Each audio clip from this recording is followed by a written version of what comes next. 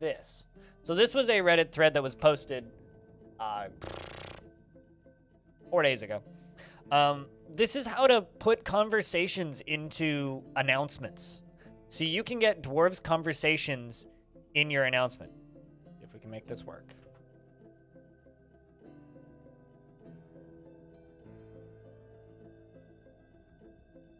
The regular conversation gets edited to D and D.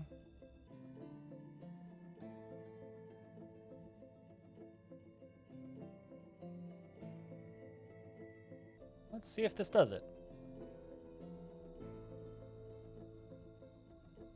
Save.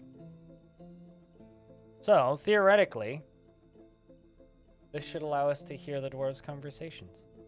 So I've got some messes that we need to clean up. We are in early summer currently. Or it's a wee bit laggy at the exact moment. There it is. So now, up in announcements, uh, Arch the Scribe. I had a drink. I am content. I finished up some work. That was satisfying. That's gonna be interesting. Yeah, you you got deadified a little while ago, actually. Yeah, You- you've been dead for a bit. What do you guys think of that? Do you guys like that? Being able to read these. I created a masterpiece, says cave spider sloth. So, I I created a masterpiece, cave spider silk cloth, and then Oswick says Daba.